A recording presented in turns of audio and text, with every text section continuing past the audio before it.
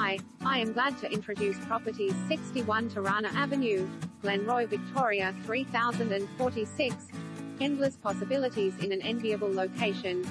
Sitting on a huge parcel of land, approximately 817 square meters, this deceptively spacious four-bedroom home offers immediately comfortable family living with opportunities to rebuild or possibly develop STCA. Tightly held for close on 40 years, the current floor plan includes generous open-plan kitchen, dining and living zones where a series of doors open onto a large alfresco entertainer's deck and huge backyard, with outdoor barbecue area, as well as long-side driveway.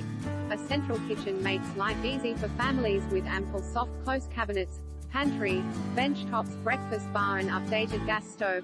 Offering flexibility and space, it features four double bedrooms with built-in robes, complemented by family bathroom, with dual basin vanity, bath and shower, along with laundry, storage and two separate toilets.